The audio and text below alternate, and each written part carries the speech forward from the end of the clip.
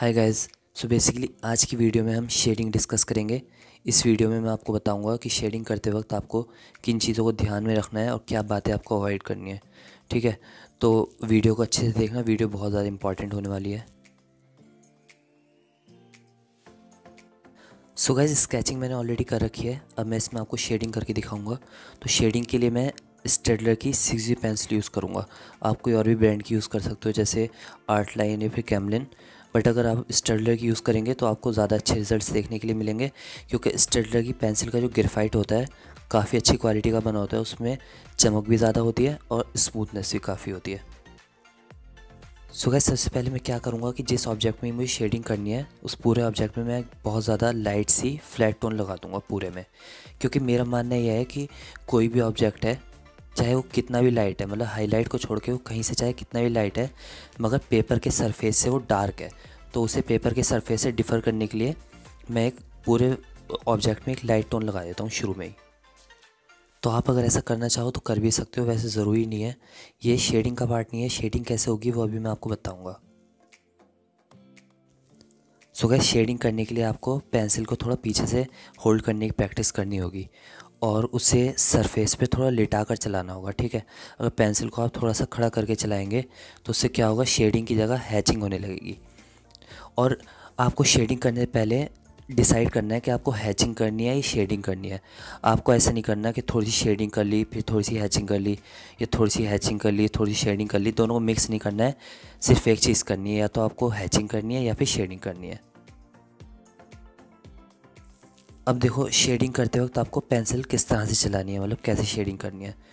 तो देखो, आपको बड़े बड़े से स्ट्रोक्स नहीं लगाने इस तरह से, ठीक है? और आपको ऐसे कुछ हॉरिजॉन्टल कुछ वर्टिकल इस तरह से भी नहीं करना, ठीक है? आपको एक ही मोशन में थोड़ा सर्कुलर चलाना है पेंसिल को।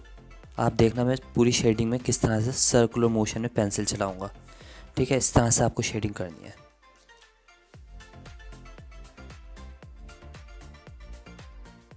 शेडिंग करते वक्त आपको लाइट और डार्क को ध्यान में रखना है, ठीक है? कहाँ लाइट है, कहाँ डार्क है, उस हिसाब से आपको शेडिंग करनी है। मतलब एक तरह से आपको पेंसिल के प्रेशर पे कंट्रोल पाना है, ठीक है? वो सबसे बड़ी चीज़ है।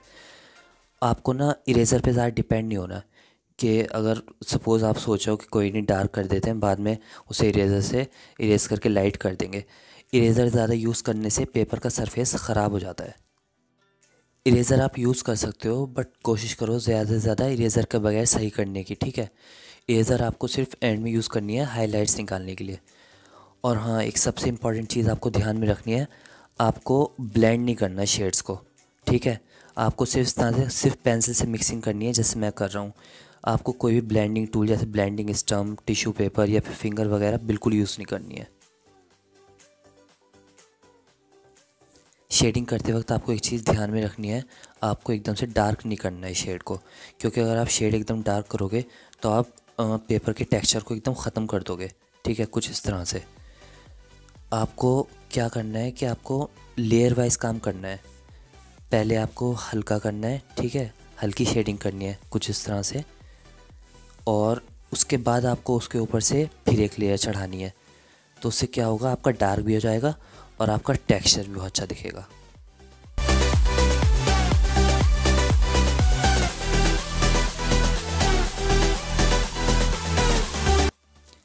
हाँ एक चीज़ और बतानी थी मुझे आपको कि मैं सिक्स बी से शेडिंग क्यों कर रहा हूँ? मैं टू बी से या फिर एच बी से शेडिंग क्यों नहीं कर रहा? या फिर मैं आपको क्यों प्रीफर करता हूँ कि आप सिक्स बी से शेडिंग करो? देखो, होता क्या है ना कि जो भी हायर ग्रेड पेंसिल होती हैं, जैसे सिक्स बी या फिर एट बी तो इनका ग्रेफाइट काफ़ी सॉफ्ट होता है तो इनसे जब शेडिंग करते हैं ना तो काफ़ी ट्रांसपेरेंसी हम मेनटेन कर सकते हैं। उसकी वजह से हमें काफ़ी टेक्सचर वाला काम देखने को मिलता है। देखो शेडिंग करने को तो आप टू बी से एच बी से या टू एस से भी कर सकते हो, मगर जो कम ग्रेड वाली पेंसिल्स होती है ना, इनका ग्रेफाइट थोड़ा हार्ड होता है, जिसकी वजह से ये पेपर के टेक्सचर को बिछा देती हैं, ठीक है? इनसे आप इतनी ज़्यादा अच्छी ट्रांसपेरेंसी मेंटेन नहीं कर सकते, जितने कि हायर ग्रेड पेंसिल से कर सकते हो। तो शेडिंग में इतना मज़ा आएगा नहीं। तो इसलिए मैं आपको सिक्स भी यूज़ करने के लिए प्रीफर करता हूँ।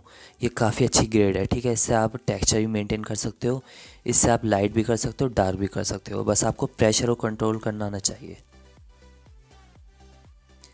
देखो सिक्स बी से जितना डार्क होना था, हो गया है। अब और ज़्यादा डार्क करने के लिए मुझे एट बी पेंसिल का यूज़ करना पड़ेगा। स्टील में जो डार्क पोर्शन होता है, उसे काफ़ी डार्क करना पड़ता है। उसकी वजह से ही हमारी जो है रियलिज़म और तरह से आप कह सकते हो डेप्थ आती है काम में।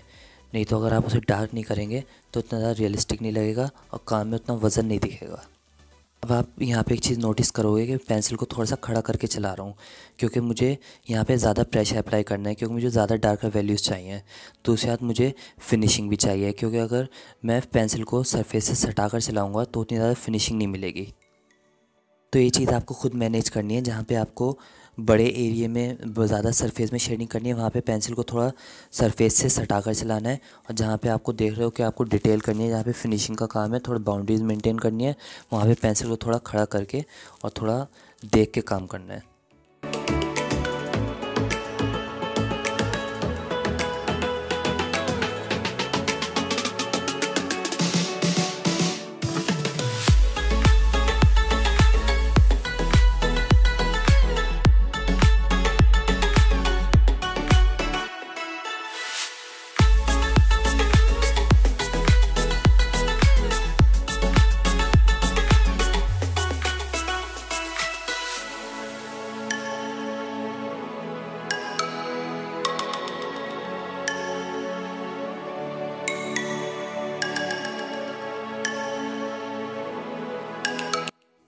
सो गैस शेडिंग हमारी ऑलमोस्ट कंप्लीट हो चुकी है। मैं हाईलाइट्स निकालूँगा इरेज़र का यूज़ करके।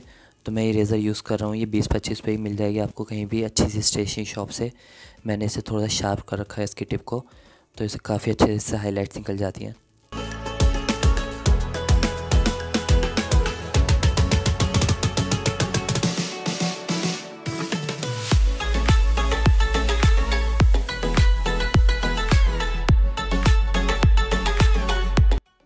मैं थोड़ी थोड़ी सी शेडोज़ भी बना रहा हूँ ऑब्जेक्ट के नीचे।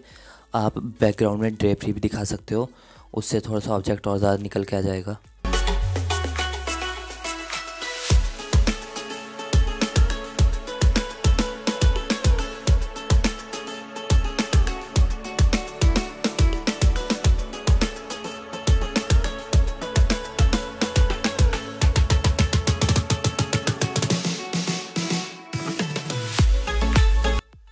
सो गैस फ़िलहाल इस ट्यूटोरियल में इतना ही था। उम्मीद करता हूँ ये ट्यूटोरियल आपके लिए थोड़ा बहुत यूज़फुल होगा और इस तरह के और भी ट्यूटोरियल्स आगे आते रहेंगे।